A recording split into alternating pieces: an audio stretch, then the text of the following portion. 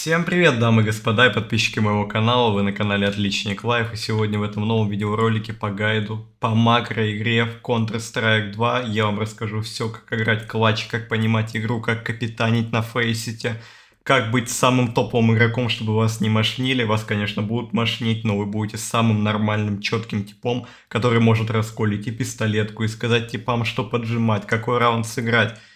В целом расскажу о своем понимании игры, а, оно может вам не понравиться, потому что есть многие другие проигроки, которые об этом заявляют, говорят то, что там есть какие-то свои фишки и так далее. Сегодня я постараюсь максимально кратко, без демагогии рассказать, как доигрывать клатчи, разберу абсолютно все ситуации. Но возьмем это на примере карты Мираж. Объясню, почему только Мираж я возьму.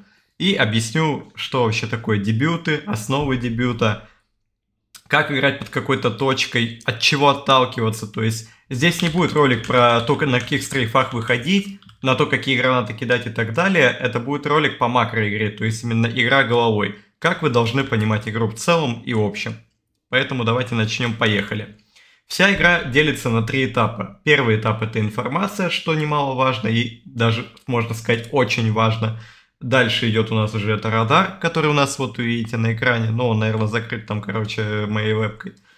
И третье это комплекс. А комплекс состоит из того, что у вас в голове. Вы, то есть, должны это объединить и уже выстраивать какие-либо линии, отталкиваться от какого-то дебюта, отталкиваться от каких-то привычек типов на карте, отталкиваться от того, что бы сделали вы, чтобы выиграть раунд, то есть типы абсолютно так же мыслят.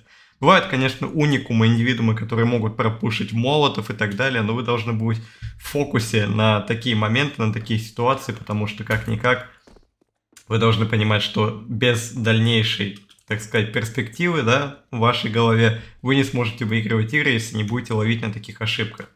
Начнем с того, что вообще такое информация. Информация это то, что говорит в чат ваш тиммейт. Это очень важно, потому что если, например, тип выбегает яму, Тут ему прилетает Молотов, он выходит, дает информацию, что один КТ там мутится куда-то дальше, ему хелпуют, его убивают, он видит то, что два кон там. Если он говорит то, что там дофига мид, то это уже ошибка по информации. То есть можно как минимум сыграть на камеру смерти, то есть если вас убили, у вас до, ну, остается некоторые секунды, вот, например, покажу вам. Вот видите, некоторое количество секунд у вас остается красный экран, то есть вы видите передвижение типа, который вас убил.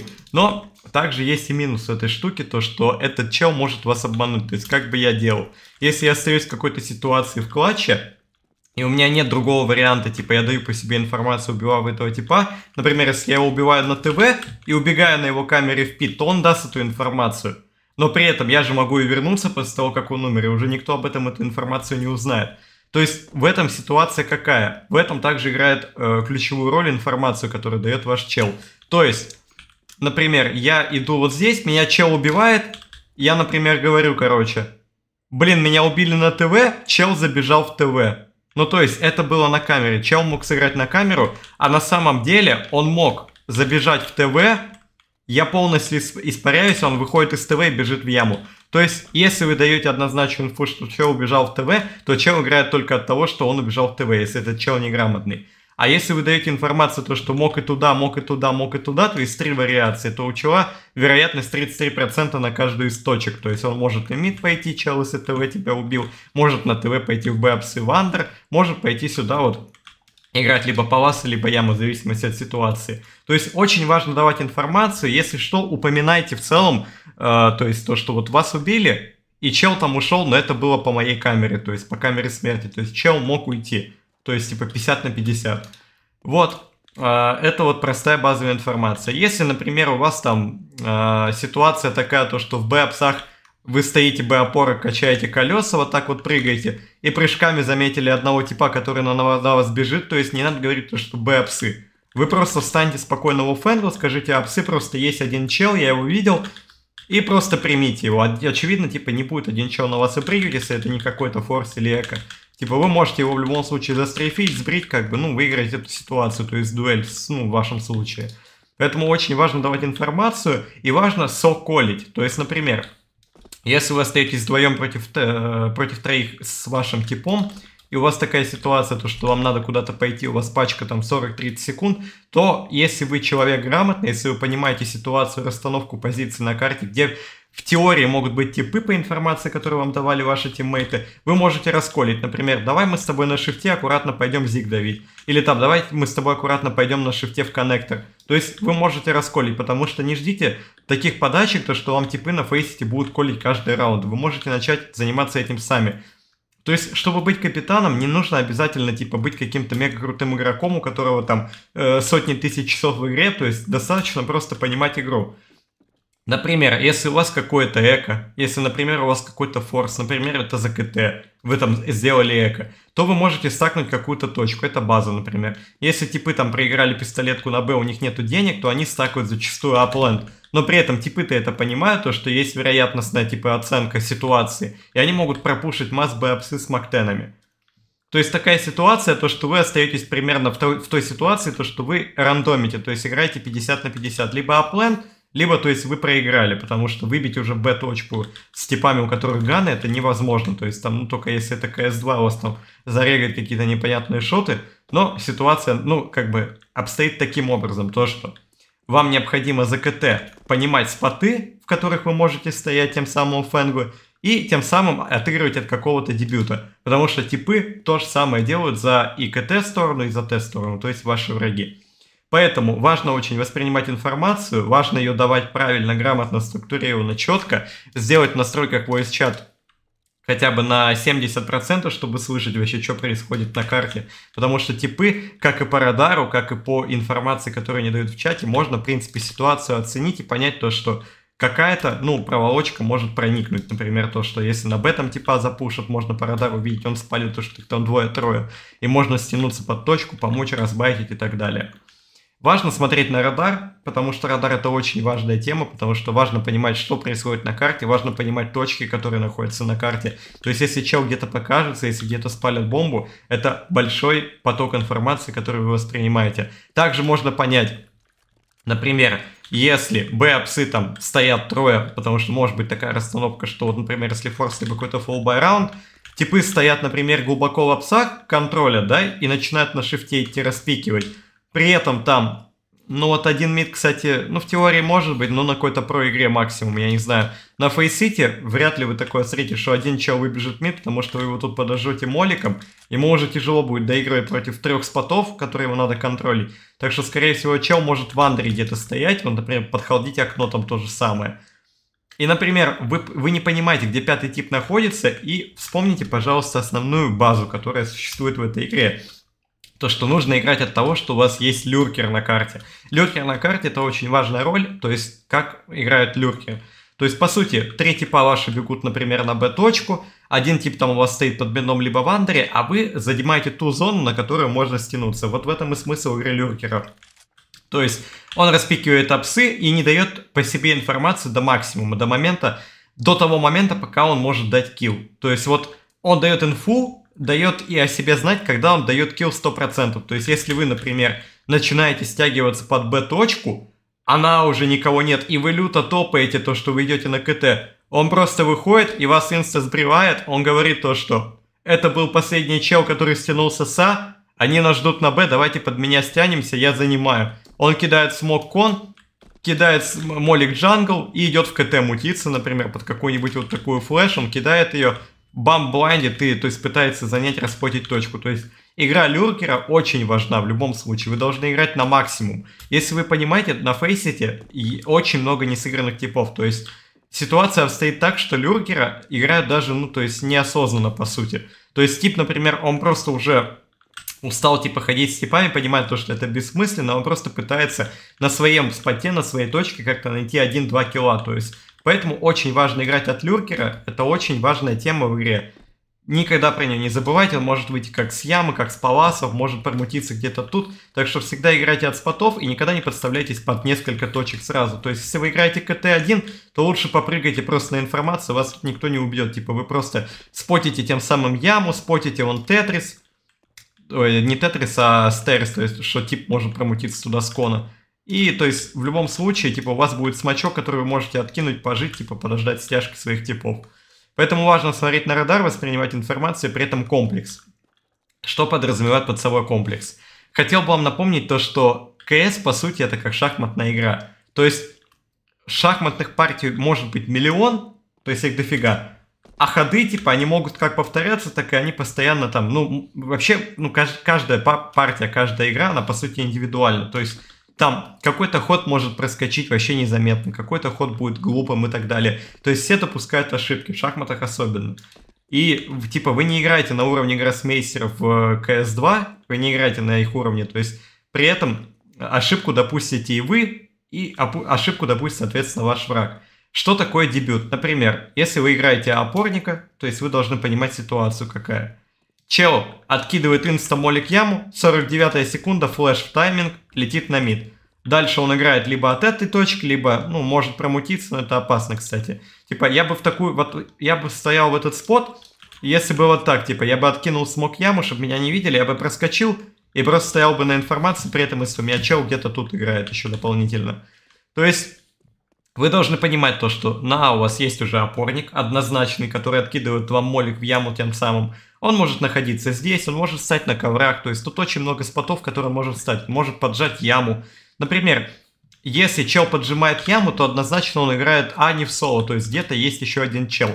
В основном там яму может поджать, но в основном вообще по сути А опорник, да? Ну, если это по логике судить. Потому что игрок окна, он играет здесь, играет здесь, может уйти сюда в кон и тут тоже здесь играть. То есть он явно не попушит туда в яму. Это будет А-опорник. То есть убив его, по сути это точка, начиная с вот этой зоны, заканчивая по вот эту зону, не считая вот этой зоны, да, она будет чиста. Это если судить по логической какой-то части составляющей, если чел неудачно дал фраг. То есть вы должны понимать расстановку именно. То, что вот А играет в основном два типа. Это А-опорник и кон игрок. Есть еще окно игрок, и есть два Б игрока. Это колеса кач и непосредственно шорт игрок. То есть расстановка какая? Вы должны понимать то, что это база, и на всех картах это тоже база, то что в основном идут по два опорника на точку. И один играет мид. Но возможно там с какой-то точки, которая ближе к миду, к нему может прийти посопортить мид, как игрок коннектора, например. Потому что вин плюс кон это связующие две позиции, то есть по сути игрок окна с игроком кон это синергия. Вот, вы должны это понять. И то есть, как в шахматах есть дебюты. Вы откид... вот откидывают гранаты, могут откинуть вот такую гранату, то есть вот это дебют. То есть это разыгров какой-то базы стандартной, то есть для которой даже не надо прилагать никакой умственной деятельности. То есть это то, что выполняется каждый раз периодически и постоянно. Вы тоже делаете это из ЗТ, то есть вы, например, как черные фигуры, вы откидываете тот же самый смог окно, откидываете тот смог топ-кон, если хотите отыграть какой-то раунд. Но в любом случае, на Мираже, если вы даже не играете мид, там, если один чел какой-то выйдет пострейфить, там, зачекать, заспотить, он все равно выкинет какую-либо гранату на мид. В основном, даже если это не масс мид, они могут кинуть вот такую гранату, чтобы, ну, просто она была. В любом случае, на мид будут прилетать гранаты. На Б также, типа, на Б вы будете получать гранаты от вот этого типа, потому что я еще ни одной игры не видел, где чел бы не откидывал сразу инста-молик в псы, как только-только прибегает. То есть я не видел еще такого типа, который будет просто стоять и прыгать. Потому что может быть ситуация какая, если вы не выполняете этот дебют, базовые требования, не делаете вот этого типа, который бежит на плюс В, то есть, если чел бежит на плюс и хочет вас запушить, он инста должен тратить смог. Потому что, типа, ну в соло пушить это такая себе идиллия. Если вас пушат, то вас пушат вместе. Поэтому молик очень важно отдавать в апсы, молик очень важно отдавать на любые другие споты, на которых это считается дебютом. Это вы можете посмотреть в любых гайдах на ютубе про опорников. Ну, я вам могу сказать так, то, что это очень важная история, поэтому это называется дебют. А вся уже остальная разыгровка на Мираже, она зависит напрямую от того, как типы, то есть, э, воспринимают игру. Это все уже индивидуально становится. То есть, Например, если чел там играет окно, если он стоит, ну, давит до того, после того, как смог прошел, после того, как он взорвал уже хаешка этот смог и так далее. То есть это какая-то прямолинейная стандартная игра, то есть чел не особо парится. А если чел там, например, играет жесткого какого-то авика, то он стягивается по инфе на Б, стягивается по инфе, там может прочекать паласы аккуратно, может стянуться вот в эту точку, поспотить нижний кон, поспотить парик. То есть, ну, ситуация может быть огромное множество. вы должны понимать то, что это как, по сути, в шахматной игре. То есть тут невозможно предугадать ходы соперника, точнее, их возможно предугадать, но с вероятностью 100% и каждый ход – невозможно, потому что может быть какая-то ошибочная структура. То есть, например, вы будете ждать от него какого-то мега умного хода, в особенности в клатчах, да? Сейчас я уже про них начну говорить. А чел ну, там совершит какую-то абсолютный идиотизм, базу там выкинет просто, считайте, свой материал и сфидит на вас. То есть, ну, такая ситуация может быть. Вот. Теперь поговорим про немаловажную тему, про клатчи. Клатчи в этой игре делятся на очень много типов. Есть клатчи 1 в 5, которые вообще не берутся. Есть клатчи 1 в 4, 1 в 3, 1, 1 в 2 и 1 в 1. Но также есть разыгровка на экзиты. Это очень тоже важная тема. И есть также разыгровка на сейф. То есть, ну, это тоже очень важно, потому что важно считать экономику. Вы должны понимать то, что если челы не выиграли первый раунд, не выиграли пистолетку, то у них next будет точно эко, потому что никто не будет форсить, если они не ставили бомбу. То есть на эко можно выйти тот же самый мид, пофармить под хае и так далее. А если типы поставили бомбу, но слили раунд, то у них будет однозначно форс, они будут кидать э, смоки на мид, они будут выходить мид. Вот. И если типы выиграли пистолетку у вас эко, то они вас, скорее всего, будут давить, потому что у вас пистолеты. То есть, ну, такая какая-то логика. И вы примерно должны считать, там вот есть тут лосс-бонусы, то есть, ну, игре есть типа тема. Вы можете загуглить на сайте на каком-нибудь, как считать экономику КС, и примерно отталкиваться от того, что есть у ваших противников, какие киллы и какие у них, например, оружие, что они делают, и, в принципе, ну, совершать какие-то выводы в основном которые вам помогут в дальнейшем выиграть раунды. 1 в 5 клатч я даже не хочу рассматривать, потому что идеально 1 в 5 клатч это если на вас все 5 человек просто вышли и бездарно умерли.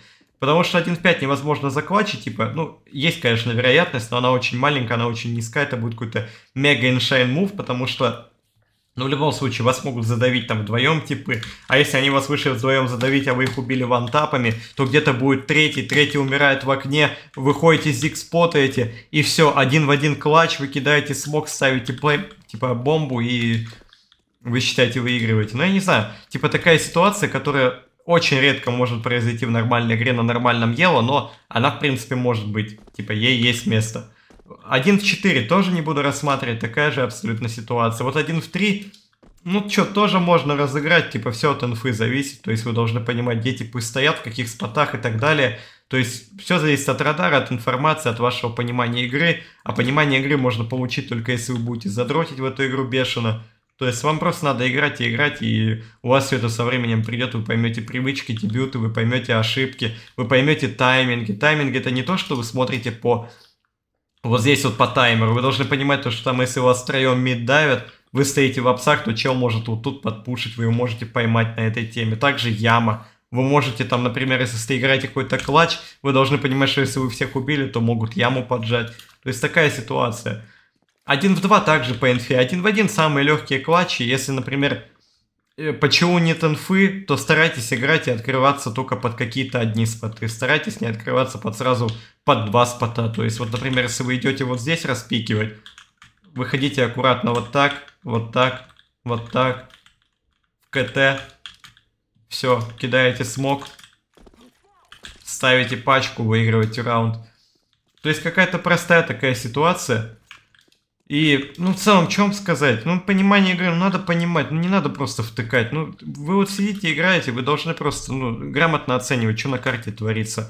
Подумайте вообще, что типы могут делать, подумайте, от чего они играют, от чего не играют, подумайте, от чего вообще вам играть, какие вам гранаты использовать, где у них, типа, слабее опорник на пленту, от чего дохнет его опорник. Например, если у вас первый спаун, вот, например, вот такой вот у вас спаун, да, то вы лучше бегите не на мид, типа дохнуть в окно фидить, а пробегите, у вас будет большое преимущество, вы в апсы добежите, на эту лавку прыгнете, и чел, если тут будет прыжками вас чекать, вы ему можете с авика, либо там с калаша тапнуть. То есть это такая ситуация, вот все вот это вот понимание игры, которые говорят, это дедуктивный КС, ребят, Дедуктивный КС будет только в том случае, если вы начнете э, давать информацию, если вы начнете с типами с нормальными играть, которые тоже дают информацию. И если вы будете понимать, как играют типы, то есть, если они играют какую-то базу, то играйте от базы. Если они играют какой-то дебилизм, то просто пушьте этих идиотов и все. Что такого-то? Типа, ну, обычная какая-то база, выучите гранаты, тренируйтесь стрельбу, а им что вам еще рассказать? То есть понимание игры, оно заключается в том, чтобы понимать вообще в целом ситуацию, которая происходит на карте клатчи, там. Это все придет со временем. Просто научитесь давать информацию, научитесь играть дебюты. Тренируйте ваш АИМ и играйте с удовольствием. Все, всем пока. С вами был я, будущий киберспортсмен по КС-2.